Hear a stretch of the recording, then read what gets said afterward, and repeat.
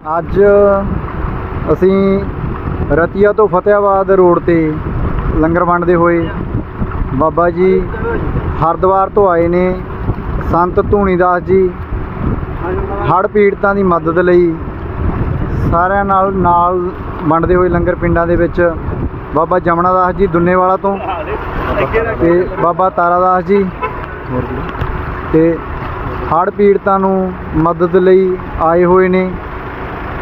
ਪੰਜਾਬ ਦੇ ਵਿੱਚ ਹਰਿਆਣਾ ਦੇ ਵਿੱਚ ਲੰਗਰ ਲੰਗਰ ਵਰਤਾਉਣ ਲਈ ਤੇ ਮਦਦ ਲਈ ਕਿਸੇ ਵੀ ਤਰ੍ਹਾਂ ਦੀ ਮਦਦ ਲਈ। ਤੇ ਸਾਡੇ ਸਾਰੇ ਸਤਿਕਾਰਯੋਗ ਜਿੰਨੇ ਵੀ ਵੀਰ ਸੇਵਾਦਾਰ ਹੈ ਪਿੱਛੇ ਵੀ ਕਾਫੀ ਹੈਗੇ।